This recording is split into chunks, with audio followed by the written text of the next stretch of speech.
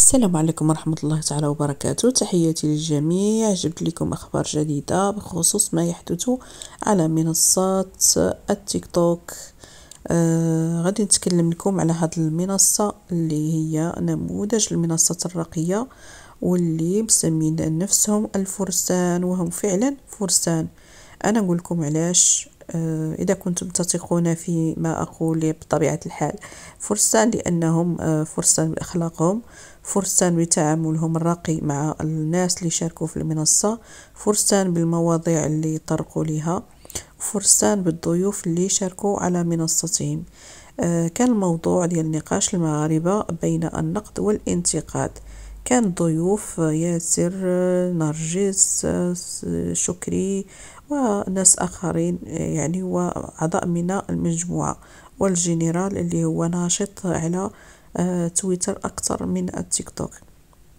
الموضوع ديال النقاش كان بطبيعة الحال آه، كما قلت لكم في العنوان مغاربة بين النقد والانتقاد اللي تم فيه طرح مجموعة من الأمور اللي يعني كتضر المغاربة وكتستفزهم خصوصا المنصات اللي تفتح على على أشخاص آخرين في منصات أخرى مثلا مشكلة ياسر مع الركان اللي دائما ياسر يفتح منصته على موضوع وينوض الركان يهز هذاك اللايف ويبدأ ينتقدوا به.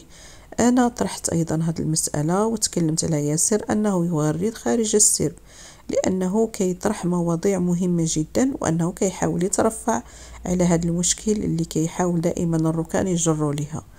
أما الركان أنا تكلمت على هذا الأمر بأنه آه، في رحلة البحث عن الهوية لأنه صراحة آه، مازال ما شفت شي بريق أمل في منصة الركان. اللي هي دائما تتكلم على المواضيع الجانبية والإساءة إلى الآخرين في أي فرصة وإذا ما كانش هذه الفرصة يحاول يخلقها بأي وجه كان.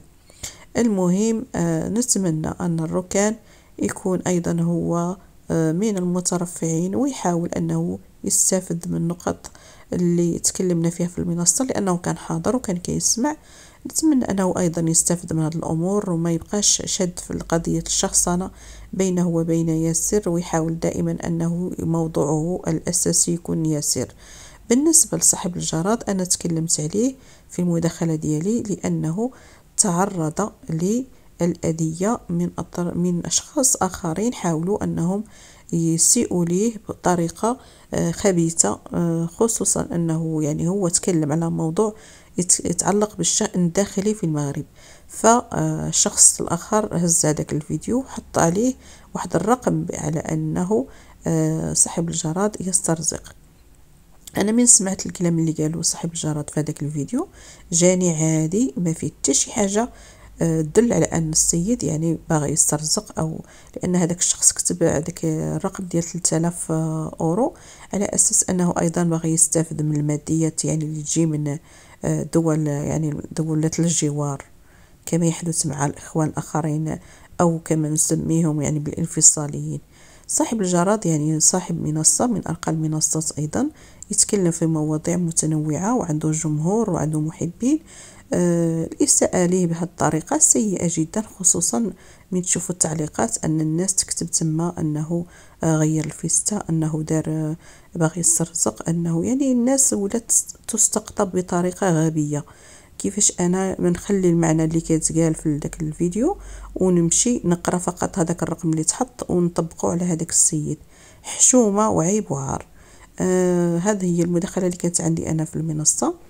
بالإضافة إلى أن الآخرين أيضا كانت مداخلتهم راقية جدا وخصوصا الجنرال اللي صراحة أنا أعجبت بأفكاره وأنا من المتابعين له في على منصة تويتر. كان يعني الأخ عبد الله نبوة المغربي أيضا تكلم. وتكلم في أمور أنها يعني على أساس أنه كاين الناس اللي بغاين يجيشوا المنصات ديالهم وأنهم يحاولوا أنهم يكونوا ديكتاتوريين.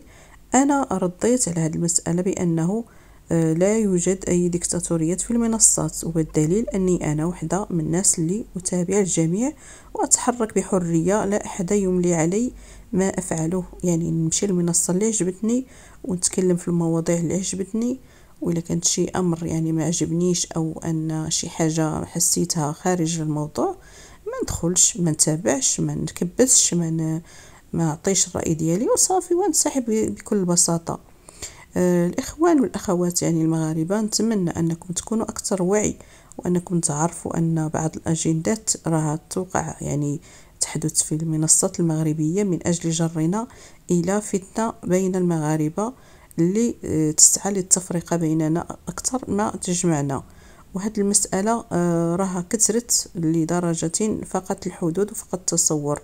كل يوم نلقاو خلاف كل يوم نلقاو مشكل. نتمنى أن الإخوة المغاربة يترفعوا على المشاكل الجانبية كما يحاول أن يفعل ياسر والإخوان الآخرين ومن بينهم طبعا الرأي المغربي.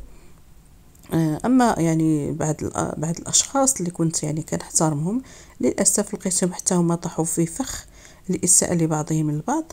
آه، نتمنى أنهم هما أيضا يتجاوزوا هذه المسألة يحاولوا يكونوا راقيين أكثر آه، من يعني هذا الشيء اللي كنشوفه حاليا. يحاولوا أنهم يفتحوا المواضيع اللي فعلا مهمة وحساسة مثل الموضوع اللي فتحوا يعني ياسر وتكلم فيه وكان لايف ناجح. آه، بكل المقاييس خصوصا قضية الشباب ديالنا في السعيديه المنصة المغربية محتاجة لواحد إعادة تأهيل صراحة وهذا الشيء قلته أنا على منصة الفرسان أنه يجب أن نأخذ لكل ذي حق حقه. يعني اللي, تمت الإساءة ليه نوقفوا معاه ونساندوه ونجيبوا له حقه. واللي يغلط ويسيء للإخوان الآخرين حتى هو خصو يتحاسب.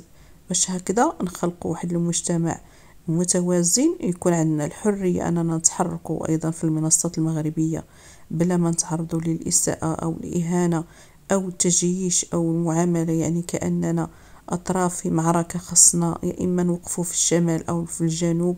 آه، أنا هذه حاجة نرفضها رفضا قاطعا. وفعلا آه، صراحة أنا غادي نقول لكم واحد الكلمة أن حاولت نكون متواجدة على منصة الركان أكثر من مرة ولكن المواضيع اللي كنشوفو يطرحها والأسلوب كيفاش يتكلم يعني كتخليني انفر من تلك المنصة نفورا. آه يعني صراحة ما عطانيش القدرة أني نكون متواجد على تلك المنصة. الله غالب يعني أنا انسانه متفهمه للجميع وأحاول أن أجد يعني واحد نقطة الالتقاء مع الكثير من الأشخاص قدر المستطاع ولكن إلا ما قدروش هما يستقطبوني بطريقة نقية بطريقة محترمة بطريقة اللي تخليني نشد في هذيك المنصة ونحترمها فأنا سأنسحب منها فورا وهذا هو اللي كنديرو صراحة. لهذا نتمنى من الاخوان المغاربة يكونوا أكثر وعي. ويكونوا أكثر دراية وأكثر تفاهم لاخوانهم المغاربة. بلا ما نطول عليكم نتمنى لكم التوفيق وأرجو أن يعني التعليقات ديالكم تكون في, في الفيديو باش نعرف شنو هو النوع ديال المنصات اللي كيعجبكم وشنو هي الملاحظات ديالكم على المنصات المغربية. وشكرا.